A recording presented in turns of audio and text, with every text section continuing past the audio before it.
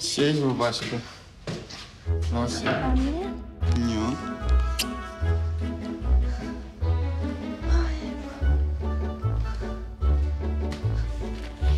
No czuć. Nie, tam ładnie pachniesz jedzonkiem.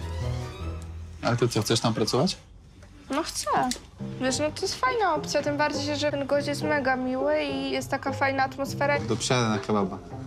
Ale udało mi się ten, e, kroić to mięso, w sensie tym takim, no No to, ale to miała, tam jest taki elektryczny ten nożyk, tak, tak, tak. Ale to nie jest takie proste, bo to jest e, ciężkie. nie? Byś miała 5 dni w tygodniu, to liczmy po te 9 godzin, nie? To masz prawie 7 stówek za tydzień. No.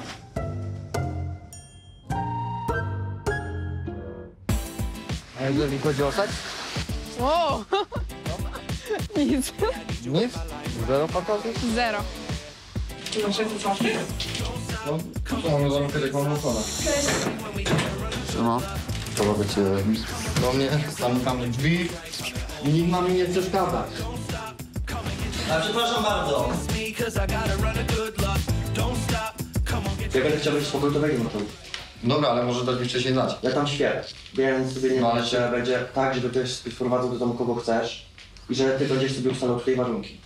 My jesteśmy tutaj w piątkę, nie spytałeś nas, co my o tym sądzimy. Zachowujesz się niepoważnie, ale że ja zostaję normalnie w domu i śpię się łóżku.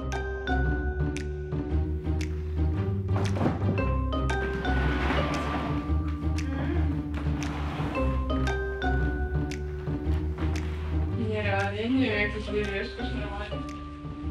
Zostawię to bez komentarza.